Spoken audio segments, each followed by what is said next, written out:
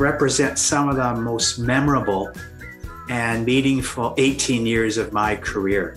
Um, you know, during that time, 1989 to about 2016, I had the privilege of working with some outstanding RPAP staff, rural physicians, and community leaders, members of the RPAP board, and faculty from U of A and U of C. And that, that's been truly an, uh, an honor um, to, to work with all those individuals and learn from them. And I also traveled extensively during those 18, 19 years throughout rural Alberta.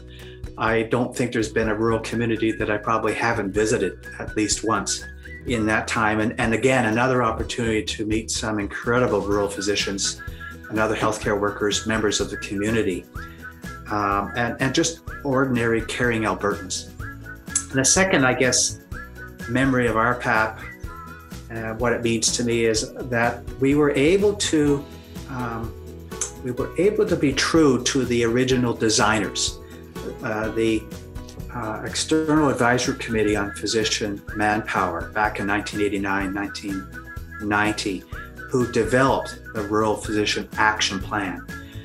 They set out some evidence informed initiatives that would make a difference to grow, distribute, and stabilize the rural workforce.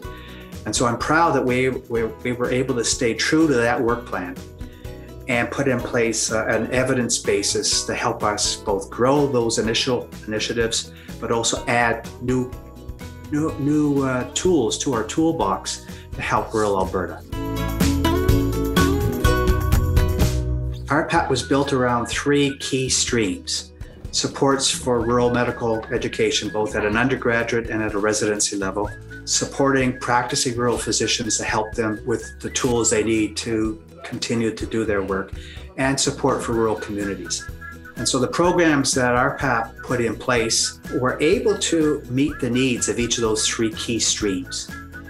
And we also put in place a really deep um, toolkit of surveys, of evaluations, of research, so we could demonstrate whether the, any of those initiatives were working, how to fine tune them, and also where there were ongoing gaps as rural healthcare needs evolved, what new programming could we put in place?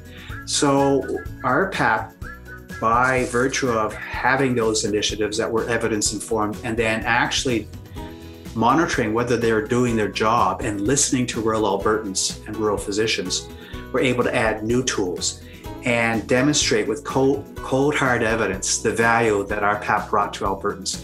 It grew the workforce, helped distribute it, and the retention statistics show that rural doctors were, were staying longer year over year uh, to a large extent because of the RPAP initiatives.